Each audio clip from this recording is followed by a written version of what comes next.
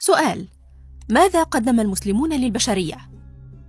الجواب المسلمون قدموا للبشرية الكثير والكثير فعلى سبيل المثال بطارية الهاتف من اختراع المسلمين البروفيسور رشيد اليزمي شبكة الواي فاي من اختراع المسلمين الدكتور حاتم زغلول خوارزميات البرمجة من اختراع المسلمين العالم أبو جعفر محمد ابن موسى الخوارزمي خيوط الجراحة من اختراع المسلمين العالم أبو بكر محمد ابن زكريا الرازي.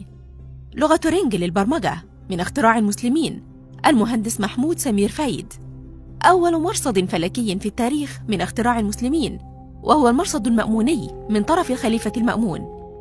نظرية الكاميرا أو القمرة من اختراع المسلمين للعالم أبو علي الحسن بن الهيثم. علم الكيمياء من اختراع المسلمين. العالم جابر بن حيان بن عبد الله الأزدي. علم الجبر من اختراع المسلمين. أبو عبد الله محمد بن موسى الخوارزمي علم الاجتماع من اختراع المسلمين. للعالم عبد الرحمن بن محمد بن خلدون. الأرقام الغربية 1 2 3 من اختراع المسلمين. أبو عبد الله محمد بن موسى الخوارزمي. التوربيد أو الصاروخ من اختراع المسلمين. المهندس نجم الدين حسن الأحدب. أدوات الجراحة من اختراع المسلمين.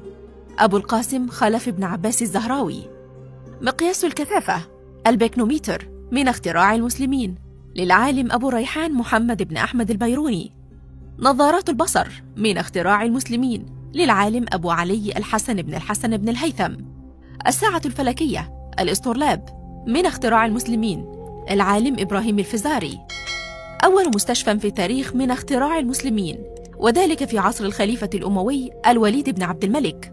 أول جامعة في التاريخ جامعة القرويين. أسستها امرأة مسلمة وهي السيدة فاطمة بنت محمد الفهري القرشي والكثير والكثير من الاختراعات قدمها المسلمون ثم يأتيك أحد العلمانيين ويقول لك لماذا تستخدم أجهزة الكفار؟